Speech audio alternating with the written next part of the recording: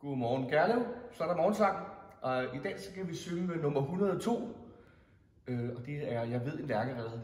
Og musikken er skrevet af Karl Nielsen, og teksten er skrevet af øh, Harald Bergstedt i 1921, dengang han stadig var uskyldig. Hvis du øh, vil vide, hvorfor han ikke var så uskyldig senere, så prøv at google ham, Harald Bergstedt. Det er en grum historie. Nummer 102.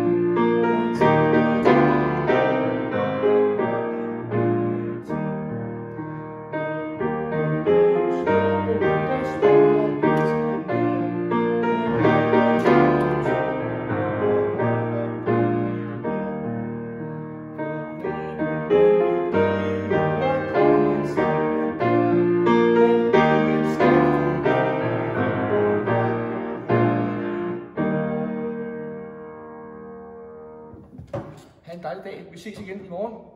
Stay safe.